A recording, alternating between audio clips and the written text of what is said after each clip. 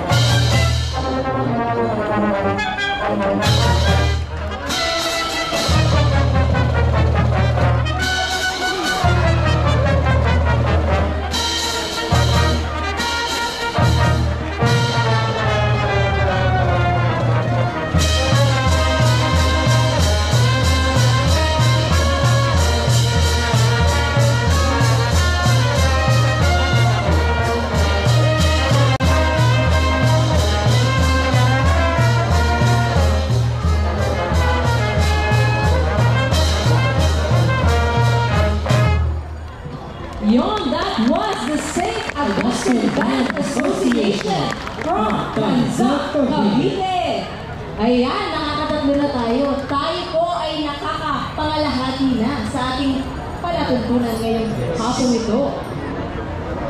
Ayan ang aming pong exit. Lalabas po yan ang ating mga bagong kalahok. At uh, kanina po ay nakita po namin ang mga bata sa may bandang, dito po sa may bandang gilid ng ating stage. Lumayo na po tayo dyan sa may mga wire dyan sa likod. Dahil ibinili po ng ating, uh, sino po yung electrician ba? Yes. Master electrician.